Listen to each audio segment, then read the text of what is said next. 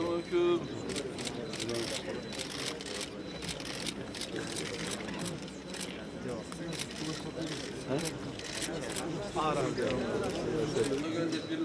Tamam sen. Yani gelip sizi boş bırakıyorsunuz. Nasıl bir şey. Çok biz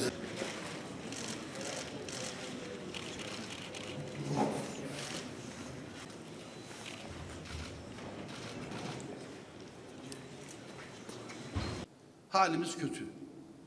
Bugün maalesef üniversitelerimizden mühendisler mezun ediyoruz. Bu mühendislerimiz ne bir atölye görmüş, ne bir inşaat görmüş, ne bir fabrika görmüş, ne de eline bir anahtar alıp veyahut da bir şey alarak bir makineye veyahut da bir e, inşaata ve demire herhangi bir şeye dokunmuş mühendislerimiz var. Buna bizde şöyle derler. Sen ağa, ben ağa, ineği kim sayar? Her taraf mühendis. Hakikaten bununla ilgili kendimizi başarısız görüyorum. Allah bize akıl vermiş. Bu akılla biz bu sistemi yöneterek Türkiye'de mesleki eğitimi üretim sektörlerine yani bizim ihtiyaç duyduğumuz alanlara doğru bir mesleki eğitimi kanalize edemedik.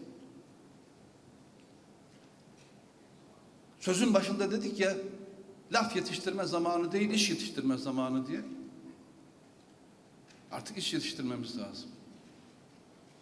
Benim fabrikam dahil olmak üzere bütün fabrikaların tamamında işçi aranıyor şu anda. Usta aranıyor, tekniker aranıyor. E diğer taraftan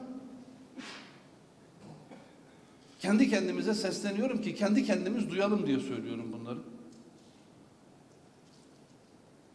Diğer taraftan 5 milyon insan KPSS'ye giriyor. Ne için? Devlete girmek için. E bir şey yanlış yapıyoruz. Ben söylüyorum ki siz de cesaretle söyleyin diye söylüyorum bunları. Birbirimizi alkışlamaktan, pohpohlamaktan da vazgeçelim artık. Yanlış yapıyoruz. Hoş geliyor, iyi geliyor. Bazı şeyleri söylemek. Geçen gün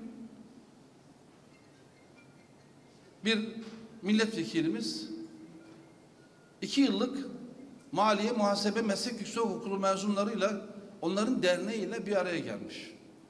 Bununla ilgili bana söylüyor.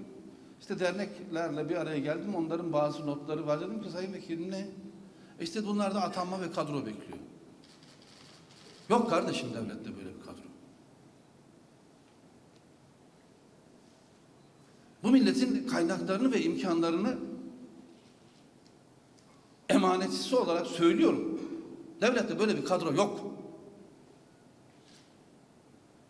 Bu ülke Gazi Mustafa Kemal Atatürk'ün gösterdiği o muasır medeniyet seviyesine yürüyecekse, bırak namerde merde bile muhtaç olmayacağı günleri yürüyecekse, bunu özel sektör eliyle yapacak.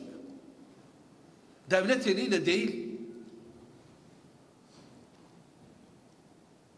Her şeyi çok kolay bir şekilde çözebileceğimiz formüller varken maalesef bugüne kadar bu koalisyon hastalıklı siyasi yapı çok kötü bir ur oluşturdu Türkiye'de.